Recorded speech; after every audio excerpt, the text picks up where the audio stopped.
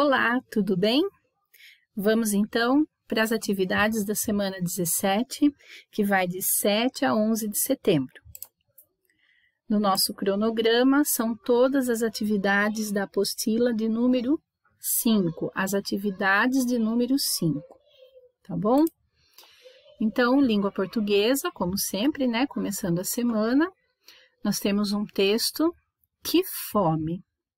Leia o texto e aí embaixo pede para que você pinte as figuras que têm seus nomes citados nesse texto aí, o que fome, tá bom?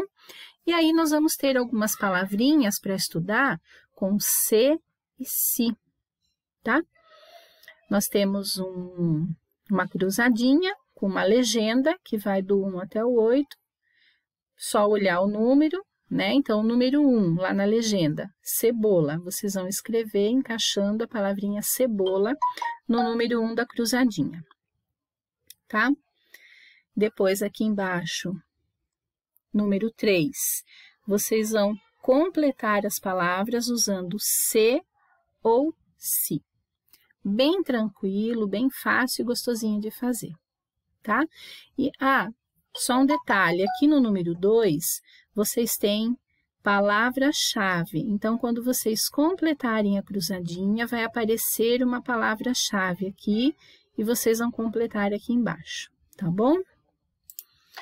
Matemática, nós vamos estudar um pouquinho sobre sólidos geométricos, tá? E tem os exemplos aqui em cima. A esfera, o cone, o cilindro, o cubo e a pirâmide, tá?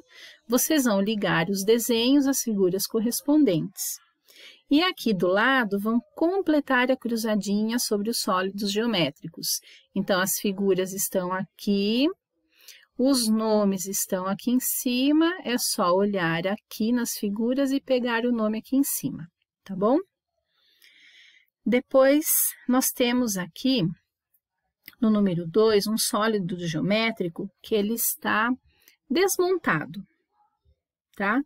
Então, se eu montar esse sólido, o que ele vai se tornar o quê?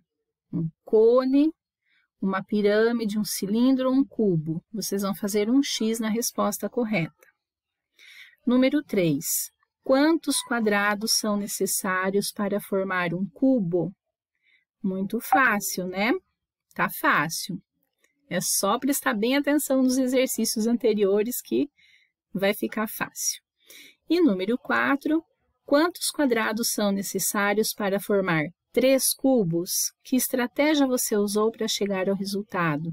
Então, o que você fez?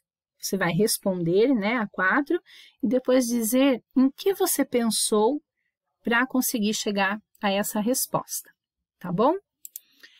Ciências naturais. Então, na semana passada nós falamos sobre a poluição do ar. Aqui nós vamos falar sobre as consequências da poluição do ar, tá bom? Então, aqui nós temos um caça-palavras, né? E aqui no número 1, um, alguns itens com palavras destacadas. Essas palavras destacadas que estão escondidas aqui no caça-palavras tá? Que vocês têm que encontrar. No número 2, vocês vão trocar símbolos por letras, tá? E descobrir o que é que vai aparecer escrito aqui. É só seguir a sequência dos símbolos, substituindo cada um por uma letra correspondente, tá? E no número 3, vocês vão pintar os desenhos e depois circular aqueles que não poluem o ar, tá? Presta bem atenção. Ciências humanas. Vamos falar, embora a gente esteja em setembro, em setembro vamos falar um pouquinho de festa junina, né? A origem da festa junina, com um texto bem pequenininho, facinho de ler, lembrando que pode pedir ajuda para um adulto na hora da leitura. E aí vocês vão completar as lacunas, que são lacunas, esses espaços aqui, tá? Então, vocês vão completando de acordo com o texto aqui de cima. Mais abaixo, marcar com um X o desenho que não pertence a uma festa junina. Então, tem alguma coisa aqui que não faz parte da festa junina. Então, vocês vão pôr um X. E aqui do lado, vamos preencher o diagrama com os nomes das figuras abaixo. Então, cada figurinha está com uma flechinha mostrando onde é que vocês devem escrever, tá bom? O seu nome. E na sexta-feira, o dia de jogos e brincadeiras com a família, a sugestão que eu trago é completar o desenho. É bem gostoso isso aqui. Todas as informações de como brincar tá aqui do lado, tá? Todo o material necessário, tenho certeza que vocês têm em casa e vale a pena fazer, porque é muito divertido, tá bom?